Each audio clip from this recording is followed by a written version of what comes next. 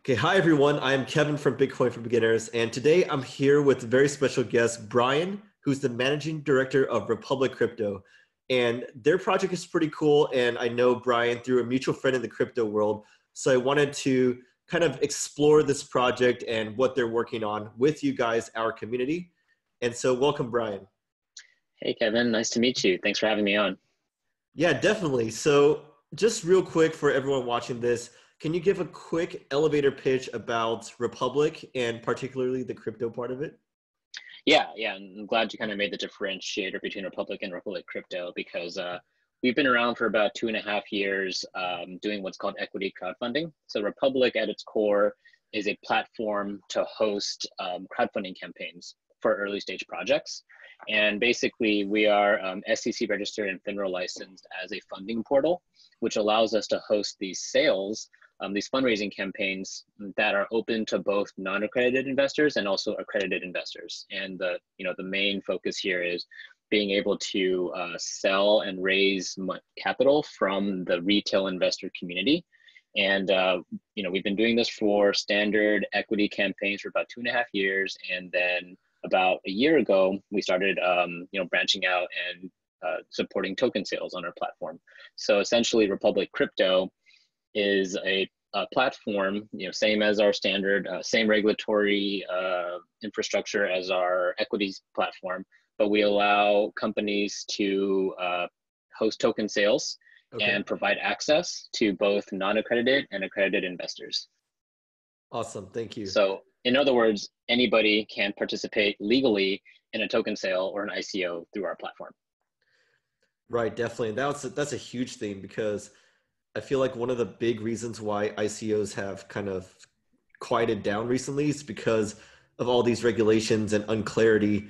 So that people like uh, you and I were like, we'll just not go to the hassle and just not touch ICOs because of all the the legal like hurdles you have to jump through. So yeah sounds like what you guys are doing is solving that exact problem yeah totally and that's kind of one of the reasons why i decided to join republic in the first place you know as someone that's been in the crypto space um, kind of early 2016-ish uh, you know being able to participate in icos and tokens was, was, something that i always wanted to do right but um, you know if you were you know if you ever try to participate in an ico in the past year they usually say something along the lines of like U.S. investors not allowed right, unless you're exactly. accredited.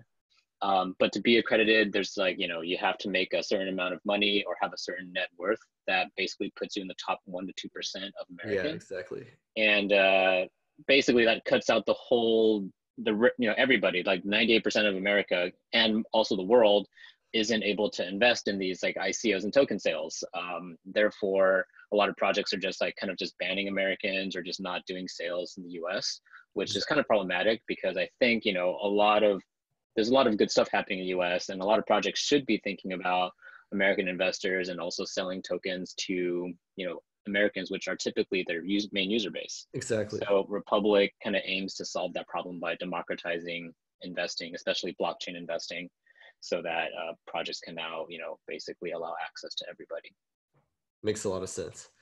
Yeah. Um, so when we take a look at projects in the crypto space, and I guess just projects in any space, startups in general, one of the biggest things is to evaluate the team behind it because with a good team, it's mm-hmm. a lot higher chance that a project has success or a platform or whatever.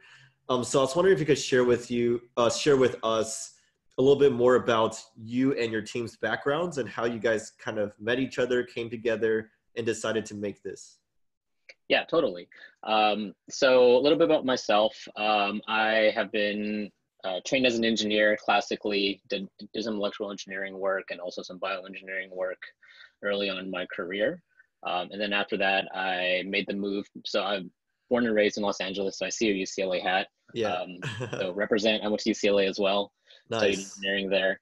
And uh, I moved to San Francisco to work at a startup uh, then you know I got experience on how kind of small companies worked. A lot of crypto companies are also startups, so I was able to kind of like use that experience to you know help uh, guide and advise early stage projects and know how they operate on a fundamental level. Right. And then after that, uh, I took a consulting job where I learned how larger companies work. So I consulted for a lot of Fortune 500, big pharma companies. And then during my time as a consultant, um, I did what many people did. I fell down the crypto rabbit hole. Okay. And from there, um, you know, I started tr- trading cryptocurrency, investing in crypto, just doing a lot of research. And uh, actually, that's where I found um, a lot of my friends that I also um, invest with. Uh, we have fun- we have created a fund called um, Torion Capital, and uh, through that, I was exposed to many other players in the space, um, including one of my friends, Lindsay at Luna Capital, and then she introduced me to Ken, who is a CEO at Republic. Oh, okay. And, uh, and Ken uh, is he used to be general counsel at AngelList, and also was a former securities lawyer so he's got a lot of background in the securities law space, uh, which basically puts him in a really prime position to um, kind of put Republic at, as a compliant solution for securities tokens, right? Um, or at least securities law compliant token sales. Um, and you know, from there we started to grow the team. Uh, a cool thing about the team at Republic is that we do have six lawyers in house uh, which basically allows us to navigate the current, you know, regulatory landscape for crypto, which you know is com- super complex, very muddy, lots of like ambiguity happening. So it really helps having these lawyers on the team um, who are both fluent in legal speak, but also crypto. And being able to combine the two, I, I feel like puts Republic in a very unique position Definitely. to trailblaze like this legal maze that's currently the crypto space. Um, and for example, you know, we've been able to kind of pioneer new legal documents, uh, one of which is called the token DPA, which okay. is our in-house uh, version of the SAFT. Oh, so, okay. If you are familiar with token sales, um, if you're investing in a token sale, you know that the agreement that is being exchanged between the company and the investor is uh, typically a SAFT, Simple Agreement for Future Tokens, which is based off of the SAFE, which is a Simple Agreement for Future Equity, which was made by Y Combinator back in the day. Um, and you know, I think the SEC has kind of said some things in the past year, uh, insinuating that the the SAFT is not as robust as they'd like it to be, and they've actually, in fact, subpoenaed some uh, ICOs and token sales that have used the SAFT. So our response to that was to kind of create um, our own uh, more robust version that kind more robust version of the SAFT that builds in a little bit more investor protection. And okay. that's called the token DPA. And the DPA stands for debt payable by asset, which means that you know the companies can uh, basically repay uh, their investors in tokens so that there's no longer a debt. Um, and that's the legal instrument that we use for campaigns that run on Republic. And okay. um, you know, aside from that, we're also pioneering a few other um, novel uses to promote like legal distributions of tokens. So we can support, uh, you know, SEC compliant or just US compliant airdrops, um, bounty programs in which you're able to distribute tokens to retail investors uh, and in a in a compliant way through our funding portal. So, so we're able to kind of like use our in-house legal expertise to really um, think of these cool new ways to adopt crypto in a regulatory friendly manner awesome awesome um, so kind of going back to the team so you are managing the whole crypto side of things right yes. like who um, like who else is working on the crypto side with you like what is what yeah. does your team look like yeah, definitely. So um, our team currently has, uh, I want to say about four to five people on it. Um, okay. So, so we have uh, Jed, who's a all past lawyer and currently on our crypto team working on basically what I call like our operations, deals, and diligence side. Okay. Which means you know any project that wants to raise on Republic has to go through a due diligence process. Ah, I see after they pass the due diligence process, they have to go through a whole onboarding process where we basically help them with um, proper SEC filing, making sure that you know their uh, all their materials are in a certain quality, and then we also help them with creating a deal page, which is a website that people can visit to invest in their project. So Jed manages most of all of that, which is kind of like what the deal operations side of things. Uh-huh. And then uh, we have Aisha, um, so both Jed and Aisha are located in New York. Um, I'm located here in San Francisco. Um, Aisha also used to be a lawyer, and she basically runs our business development and marketing side of things. Um, so, and she's extremely well connected in the crypto space. Uh, she used to work at Consensus, um, and she just has this ridiculous network and has been able to um, basically set up partnerships uh, for our crypto team with a lot of like leading firms, leading funds, and projects in the U.S. and Asia and around the world. Awesome. And uh, she also helped uh, with uh, setting up. Basically, she led our first conference called Republicon that was hosted about a month ago in New York. Oh, okay. And uh, it gathered, you know, a lot of the industry leaders uh, across the United States and around the world to kind of have thoughtful discussion and panels about the state of crypto, right? Um, you know, investment trends, diligence trends, and just like fireside chats with uh, a lot of high, high, high-powered influencers and projects in the space. So, um, you know, aside from Jed and Aisha, we also have uh, Myra, uh, who's here in San Francisco with me, uh, helping out with um, business development, events planning, networking, partnerships. Okay. Um, she's also extremely well connected. Uh, I'm just like so lucky to have such an amazing team, but they're all just like really well connected, especially Myra is connected in the VC space here in Silicon Valley. And uh, she's you know she's pretty famous for hosting these like Japanese whiskey tasting nights with VCs, and uh, we're trying and basically helping to expand our network and connect with um, lots of like venture capital firms, hedge funds to basically let them know that you know their projects, their portfolio projects, or their deal flow, they can raise money from retail public and they can distribute their tokens compliantly to everyday people, which is something that not a lot of people know yet, but I think they're getting there. Um, and through awesome. these networks of people that we have and through our business development efforts, we're really like slowly but surely getting the word out there. Um, I also, uh, we also have a amazingly talented uh, crypto content writer. His name is Ben.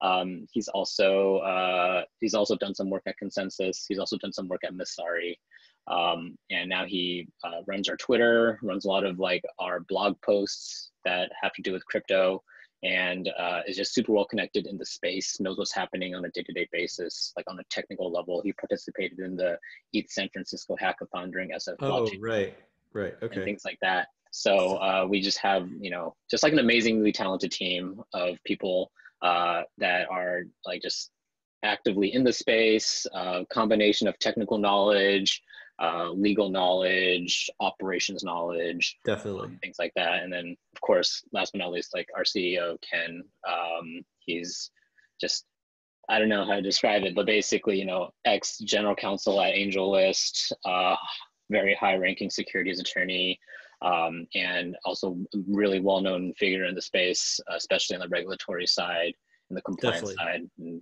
Ridiculous network of, of uh, investors around the world, and um, just like as a comp, as a just as a team, we're all very. Um, I would say we're very solid um, and very blessed to be working with like such an amazing group of people. Definitely sounds like it. Thanks for sharing that. Um, okay, so next up, I kind of want to understand a little bit more about the process behind Republic, especially from the two different sides, the investor side and the company side. So just. Starting with investors, like let's say I um, want to invest in a project with Republic Crypto. Can you walk me behind like how does it work on a high level? What do I receive? And also on your website, I saw something called investor groups. So if you could touch kind of on that as well. Yeah. So as an investor, um, you know, we've made our onboarding process very smooth and streamlined. So let's just say you have never invested before in Republic. Um, all you do is you visit our website, republic.co, and then um, you just kind of scroll, look at projects um, that you want to invest in. You click on one, you click invest. Basically, takes you to a sign up flow. Uh, okay. And the sign up flow ba- uh, asks you for very basic information name, phone number, um, address, uh, things like that. Ba- basic KYC, AML. And uh, that whole process literally takes less than five minutes. I want to say it takes around two minutes. And from there, uh, you can invest with either your credit card or your bank account.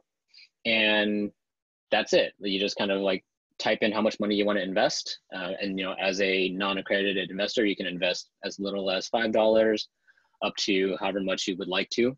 Um, and from there, you just kind of say, okay, I want to invest 100 bucks in this project. And then you hit invest, and then you're good to go. Very, very simple, very straightforward. And then from there, you get like a, if you're investing in an equity project, you get a crowd safe. If you're investing in a, a token project, a blockchain project, you get a token DPA. And from there, you just kind of now have this investment contract. And once the project uh, you know mints tokens and distributes the tokens then you receive them to the address that you provided and you're okay. good to go so very straightforward streamlined uh, onboarding process um, and from there uh, you can once you've created an account you can now invest in other projects uh, much much more easily and much quicker and uh, we also notify you whenever new projects come out and things like that um, um, yeah i forget if you mentioned this like a, a few seconds ago but can they buy with like credit cards or what are the options for like purchasing stuff? Yeah, so currently we have two options for purchasing, which is credit card and bank wire. Okay. Um, we are currently working on uh, crypto as a method of payment, but ah, it's not ready yet. Awesome. Okay. Yeah. Um, so on the company side, like what are your target companies or ideal companies that would join or use your platform because one thing i saw was that there's like limits to your raise and yeah. so maybe that kind of restricts the the ideal type of customer or the ideal company that could benefit from the republic platform? Yep yep that's a great question. So you're referring to uh, reg cf which has a limit of 1.07 million dollars that you can raise um, through our platform. And uh, yes this is you know only 1.07 million, but it's a good amount of money for for a few different use cases. Uh, ideally, companies that want to distribute, you know, their tokens speci- specifically for blockchain projects. Okay. This is for projects that want to, you know, promote the broadest distribution possible of their tokens, right? So, say you are a like a blockchain protocol project, and you've already raised maybe $10 million from venture capital and um, hedge funds. Uh huh. Now your tokens are basically centralized in maybe like 10 different entities. But right. in order for your network to be like massively adopted and successful, you really want your tokens to be in the hands of more people. Definitely. So, uh, the ideal use case um, for blockchain projects is companies that have already raised, you know, uh, operating capital from VCs and funds and things like that ah, are looking to distribute their token to non-accredited investors that want to participate. So that way you can take in like thousands of investors through our platform, raise a million dollars, which is still a good amount of money, um, but you've already raised a larger chunk on a previous round. Right. Um, right. And now with this one million, you're able to still uh, take in capital, but also now you're increasing your user base and your fan base. Right. Right. Definitely. Right? So, so that, that's kind of the main uh, use case. Go ahead. So people wouldn't really just use Republic to raise, like solely, right? So it's possible. Um, so yeah, you're asking like, you know, can people use Republic to raise seed stage funding um, right. on our platform? It's definitely possible. Uh, and it's something that if a company is developed enough, has the right amount of you know investor interest, then of course we'd love to have them on. Um, it's just that typically a lot of these like really early stage projects, um, might not have the proper community support or investor interest to raise you know enough for it to be meaningful right. which is why projects that have already gained traction um, and already have are already sufficiently capitalized would be a better fit because then they ah, can spend some of their capital to market you know this this uh, token distribution that they're doing through through Republic and uh, be able to distribute their, their tokens to more people than they already have. That's like the prime candidate for Republic. Awesome. Um, however, you know, if a project is early stage and you know the team is great, uh, the technology is amazing, and they have a lot of interest and buzz already, you know, it's really a case by case basis. We have um, definitely hosted projects that are early stage, but we've also hosted projects that are later stage. Awesome. Sounds good. Mm-hmm. Um, okay, so I, you've touched a little bit on this earlier, but in terms of progress you've made so far, I was wondering if you could share with us maybe some successful token sales that y'all have held so far, and also what is your upcoming strategy um, in terms of just uh, company-wide strategy due to this bear market? Yeah, totally. So if you go to our uh, website, republic.co slash crypto, okay. you can see um, that we currently have six projects um, on our on our website. Uh, three of which are already complete.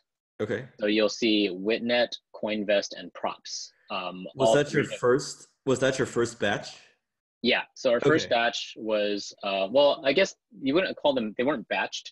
Um, they were all one by one. Ah, okay. So props happened first, and then CoinVest, and then Witnet. Um, actually, I think it was props, Witnet CoinVest. Um, but all three of those projects have raised the maximum of Reg CF, which is $1.07 million. Okay. And then currently uh, we have three projects live, uh, which is Quarters, Nori, and Bandwagon. Okay. So um, that's those are all the projects that we've we've uh, worked with um, on our website, and uh, all you know all those projects uh, really great. Uh, they, you know they passed through our due diligence process, which is pretty strenuous, rigorous, and um, we thought that they would be great um, projects to represent you know blockchain technology and be good opportunities for our investors. Um, do you have a lot of companies like knock, knocking on your door trying to get on the platform? even in this bear market? Yeah, I would say we still get a lot of interest for projects that want to list on our on our platform, even in this bear market.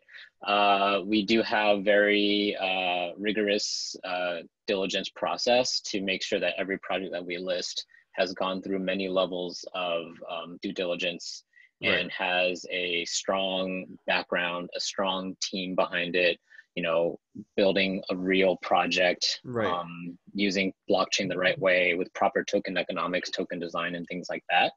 So um, we still get you know even though we do, do get a lot of projects that want to raise on our platform only a few of them i would say less than 5 to 10 percent get through our uh, diligence process.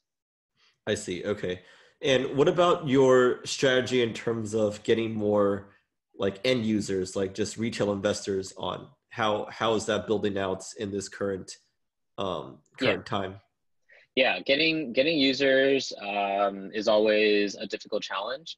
Um, but that's why you know we're we're pretty active on Telegram. We are pretty active on the conference circuit. Um, definitely getting the word out there about our product, our platform, and uh, you know what we're able to do. I think um, you know for us, our, our main uh, strategy to get users is by hosting sales of very strong projects. So you know, as if there's a project that everyone wants to invest in, then people will sign up and yeah. invest. Um, that so to that end, we have been um, developing relations with a lot of the the top projects in the space right now, a lot of which are holding off on a sale due to the bear market, which we were just talking about. Right. And that, that does just prove a little bit difficult. Um, and, you know, as, as you know, and a lot of your listeners probably know, uh, the, you know, a lot of the funds have slowed down investing, especially in Asia, also in the US. Um, a lot of projects have also postponed um, fundraising efforts until next year in hopes of the market looking better. So we're definitely in conversations with a lot of these top projects and top funds, but just due to the nature of the market, it's been just slow. Right, right, makes sense. Yeah. Okay, so moving, looking forward now in terms of your roadmap, what are some exciting stuff um, down the pipeline that you can share with us that we should be on the lookout for? Yeah, definitely. And uh, I'm glad you asked this question because we do have a lot of really cool things um, that we're working on. Um, so all I've been talking to you about so far is our platform and our website, which is a you know SEC registered and license funding portal, which allows right. us to to host these Reg CF compliant um, crowdfunding campaigns. Um, things that we have down the pipeline, which I touched on a little bit earlier, is uh, we're working on um, compliant token distribution mechanisms, um, one of which is a an airdrop product. Right. So for projects that want to airdrop tokens to the hands of retail investors in the US and outside, they can do that through Republic. Um, which is going to be the first of its kind because you know you know currently the SEC kind of has a stance where if your token is, is a security, you can't really give them away. You can't airdrop securities um, unless you do it through the proper channels, which is through our funding portal platform. Right. Uh, So we have that coming down very, very soon. Um, also, on top of that, we are able to um, support um, larger fundraisers. Uh, we, uh, uh, such as Reg D, Reg A Plus, and Reg S sales. So for those unfamiliar, those are just um, other ways that you can fundraise from uh, accredited investors and also Reg A Plus, you can fundraise from non-accredited investors, but you can raise larger amounts of capital, which oh, is a lot more appealing for blockchain projects. So for Reg D, you can raise, you know, unlimited amounts of capital from accredited investors only. Okay. Reg A Plus, you can raise $50 million from both accredited and non-accredited investors. 15? And 50. 50, okay. Yeah, five zero. And then um, for Reg S, it's more of a fundraise for international investors outside the United States. So uh, we are able to assist and facilitate all different forms of fundraising, uh, uh, not just you know the Reg CF stuff we were just talking about, and that's all coming down very coming down the pipeline very very soon. Oh, okay, um, awesome. And yeah, and uh, also uh, if any projects need assistance with uh, KYC, AML, or, or accreditation, we do have a product that can support that as well. So, you know, we're turning into like kind of a one-stop shop for um, all compliant fundraising needs in the United States and also outside the United States. Um, and just we started with Reg CF to kind of allow the crowd, you know, the general public to invest, but we're expanding to support all types of fundraising. Awesome. Yeah, that sounds like it's really opening up the doors for all sorts of different companies to to benefit from using your platform. Um, yeah, I mean, I think you know, uh, I a lot of projects like the bear market has been making things really slow, but as things pick up and as you know, people recognize that real projects are being built by really smart people in the blockchain space. Uh, I have no doubt that the that the market's going to come back up again eventually. Right. And exactly. when that happens, we'll be right there to help with, um, you know, getting projects up up and uh, ready to go. Definitely. Um, one last question from me. It's can you talk a little bit about the different competitors, either direct or indirect, um, that are trying to compete with what y'all are trying to do in the crypto space, and what makes your Republic, uh, what makes Republic different or better? Yeah, so you know we do have competitors in the space right now. Um, other platforms that are hosting uh, crowdfunding sales, Reg CF sales, even Reg D sales. But I think the thing that makes Republic very uniquely positioned is that you know we do have an in-house team of, of six lawyers. We do have crypto native experience on the team. You know, it's working specifically in crowdfunding. So there's no other crowdfunding platform that is like really dedicated to the crypto space right now. There are mm-hmm. you know platforms out there uh, such as Indiegogo, WeFunder, um, Start Engine that uh, do support you know crowdfunding, but none of them have as deep expertise on the legal side and the crypto side as we do. And I think you know crowdfunding is almost is a very crypto native thing, right? Like the ICOs are a type of crowdfunding, so it makes a lot of sense to be combining blockchain and compliant crowdfunding together and right. that's what we're doing. And there's no other team out there that i know of that's um, as competent and as connected as we are. Awesome. That's good to hear. Okay yeah i mean thanks for sharing about your project. I think um, when the market picks up and once you have some icos that i start looking at again um, if they're on republic i'd love to use it. It sounds like just really amazing just removing the barriers for us citizens like like me yeah. and you to actually participate. Um, that's yeah. one of the huge reasons why I've stopped, just because of didn't want to go through all those hassles, and even the yeah. ones that um, did let U.S. people, it's just like they still had a really long and arduous process to make sure that we're compliant.